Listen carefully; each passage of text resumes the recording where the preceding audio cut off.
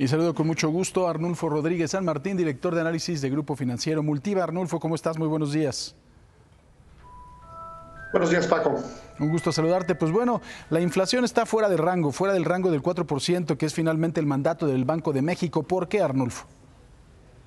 Eh, por varias razones. De hecho, es una dinámica compleja. Eh, tenemos una fuente de, de inflación importada que nos está golpeando en las mercancías. Los precios de las mercancías, este subcomponente del índice total, trae una inflación elevada. La inflación al consumidor, como, como se muestra en pantalla, es de casi 6%.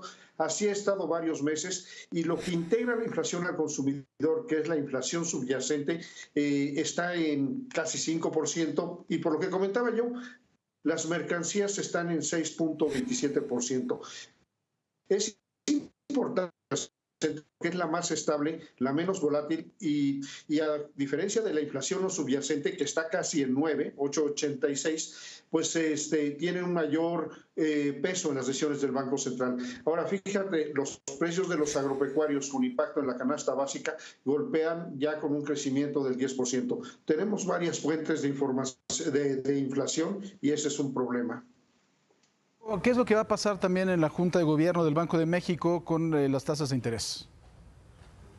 Definitivamente el Banco de México tiene que atajar estas expectativas de creciente inflación y por tanto tiene que subir su tasa. El consenso de todo el mundo es que mañana, bueno, todo el mundo en México es que mañana incrementará en un cuarto de punto su tasa de referencia y que vamos a continuar con el ciclo alcista. Terminaremos el año, hoy la tasa que está en 4.50 finalizará el año en 5% y podría llegar hasta 5.50 el próximo año. Es quizás la única forma de contener el consumo y por tanto eh, contribuir a detener el crecimiento de la inflación.